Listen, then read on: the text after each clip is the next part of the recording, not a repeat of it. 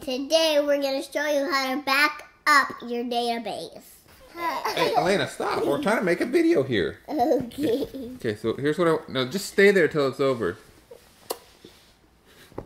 Evan, stay there till it's over. Okay, in this video, I'm going to show you how to back up your WordPress website. This is an extremely easy thing to do, and it's also very, very important to do on a regular basis. If you don't do it, you risk losing everything. Yeah. Does that usually happen? No. No. WordPress is stable. Most web hosts are good and they do backups. But you should be backing up your own files and your own database on a regular basis to plan for any type of unforeseen, disastrous incident. And remember, it's very, very important to do this. Yes.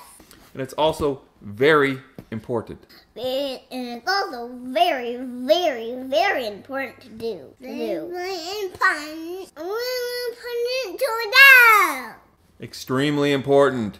Always do this. The importance of backing up your WordPress database and files regularly cannot be overemphasized. Okay, the first thing we're going to do is hover over plugins and then we're going to click add new. In here, I'm going to type in backup and then I'm going to scroll down to Updraft Plus Backup.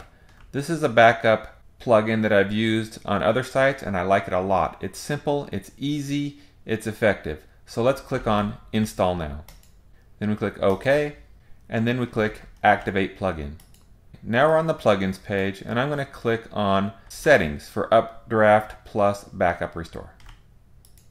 In here, I'm going to leave all the settings as is for now, but I'm going to go through them here real quick for you. You can set up scheduled backups if you'd like for your files and for your database. Why are there different backups for files and database? Well, they're different things.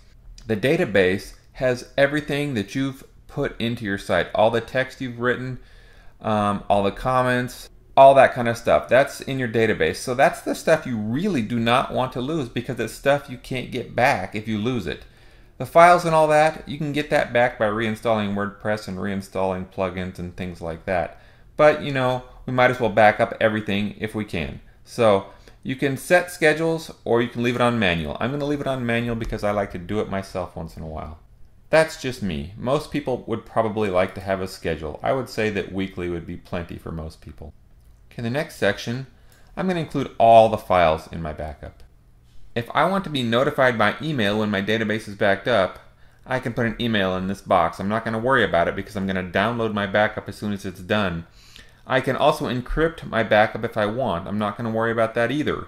I can also copy my backup to remote storage like Google Drive or any of these if you happen to have any of these. I don't have any of these, so I'm not going to worry about it. I'm going to leave the rest of this as is and I'm going to click on Save Changes. Okay, I'm now ready to run my first backup, so I'm going to click Backup Now. And then I'm going to click Backup Now again. Now I should see this changing as it's doing some things. The backup apparently succeeded and is now complete. That's good. Now I want to download my backup. To do that, I click on this, One Set Available. When I click on that, this opens up underneath it. I'm going to click on Database, Plugins, Themes, Uploads. So now I have these four separate files to download. I'm going to download each of them to a spot on my computer that I can remember. So for the database, I click Download to your computer, and then I click OK, and then I make sure it's in a spot I can remember, like my desktop or a folder I've created, and I click Save. And I do that for each of these other three files as well. Download to your computer, OK, Save, OK. So once that's done, I have my WordPress website backed up. I am done. I can now go ahead and update my website. But I want to show you one other way to back up your database if you're not happy with this method or for some reason it doesn't work for you, and that is using cPanel.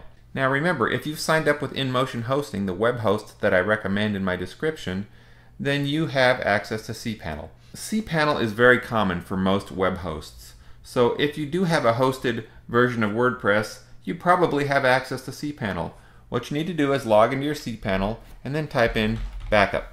Then you'll see this backup wizard. Go ahead and click on that. Then click backup here. Then you'll see this.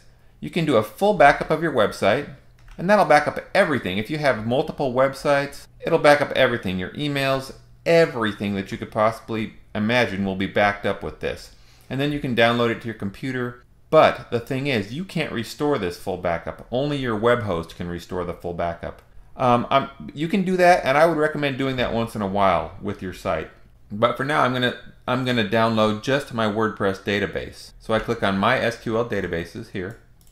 You'll probably only have one database in here. I have a number of different WordPress installations.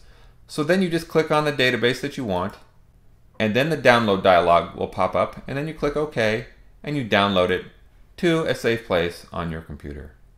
So that's how you back up your database using cPanel. So you have two methods you can use, the cPanel method or the Updraft Plus plugin method that I went through a minute ago.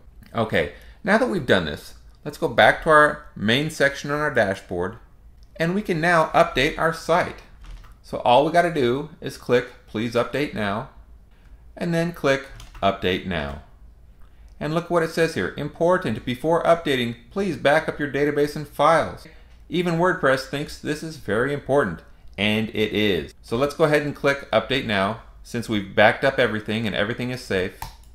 And WordPress does its thing, and WordPress has been updated successfully. Back to the dashboard. We have some more updates, three updates, and they're all plugin updates. So let's go ahead and click on plugins over here. So we can see that Akismet has an update, so we check that box. We can see that there's a new version of Fast Secure Contact Form, so we clicked that box and we can see that there's a new version of Jetpack available. So we click that box. And then under bulk actions, we choose update and then we click apply. And all three of those plugins will be updated. So there you have it. You now know how to back up your WordPress database and files using Updraft Plus backups. And you now know also how to update your WordPress website and update your plugins. Remember, always back up your WordPress database and files before updating. It's important. Hope you learned a lot from this video. Stick around, next video coming soon. Everybody, thanks for watching our video. And and and and, and this. Uh, Elena, nobody could tell what you just said. It was you. name. You got to be clear and loud. Please subscribe to our channel now. For watching the video, please subscribe to our channel. To our channel.